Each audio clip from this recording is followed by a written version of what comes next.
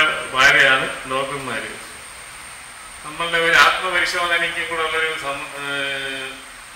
ഒരു മുഹൂർത്തമായിട്ടാണ് ഞാനിതിനെ കാണുന്നത്. ഈ ആദരിക്കൽ അല്ലെങ്കിൽ ഈ ഡോക്ടേഴ്സ് ഡേ കൊണ്ട് ഉദ്ദേശിക്കുന്നത് ഡോക്ടർമാരെ ആദരിക്കലിന്റെ കൂട്ടത്തിൽ ഈ ഡോക്ടർമാർ ചിന്തിക്കണം.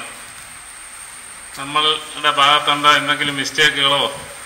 പർപ്പസ്ഫുള്ളി നമ്മൾ വരുത്തിയ വീഴ്ചകളോ എല്ലാം ഉണ്ടോ എന്നതിനെ പറ്റി ഞാൻ രാവിലെ തൊട്ട് അതിനെപ്പറ്റിയാണ് ചിന്തിച്ചുകൊണ്ടിരുന്നത്.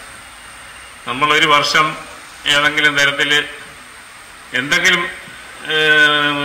എന്തെങ്കിലും ബെനിഫിറ്റിന് വേണ്ടിയോ എന്തെങ്കിലും തരത്തിലോ ചില ഡോക്ടർമാരെ അങ്ങനെ ചെയ്യാറുണ്ട്. ഈ ഡോക്ടർ സമൂഹത്തിൽ ഞാൻ എന്റെ വണ്ടിയിൽ ഡോക്ടറുടെ എംബ്ലം പോലും ഒട്ടിക്കാറില്ലാത്ത ഒരാളാണ് കഴിഞ്ഞ ഇരു പത്ത് വർഷത്തിലധികമായിട്ട് ഞാൻ എന്റെ ഒരു വാഹനത്തിൽ ഞാൻ ഡോക്ടറുടെ എംബ്ലം ഒട്ടിക്കത്തില്ല. എനിക്ക് പേടിയുണ്ടാകും ചില ഡോക്ടർമാരുടെ ചില പ്രവൃത്തികൾ കണ്ട് ഞാനത് ചെയ്യത്തില്ല എനിക്ക് എന്റെ സമൂഹം ഒരു കുറ്റവാളിയുടെ രീതിയിൽ എന്നെ കാണുന്ന അവസ്ഥ വരുന്നു എന്ന് എനിക്കൊരു സംശയം തോന്നി. ഞാൻ എന്റെ വണ്ടിയിൽ ഞാൻ ഡോക്ടർ സ്റ്റിക്കർ ഒട്ടിക്കാറില്ല.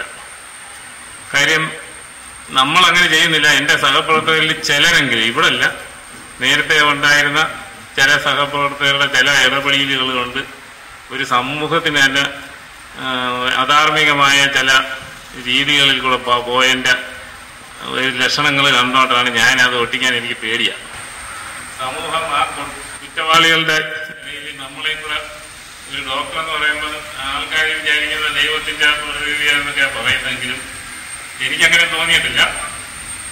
കാര്യം ഡോക്ടർമാരെ പറ്റി നമ്മൾ കുറച്ചും കൂടെ ഒന്ന് ആധികാരികമായിട്ട് ചിന്തിക്കുമ്പോഴേ ചിലരെങ്കിലും കാലന്റെ സഹോദരനായിട്ടാണ് ഞാൻ ഡോക്ടറെ കാണുന്നത്.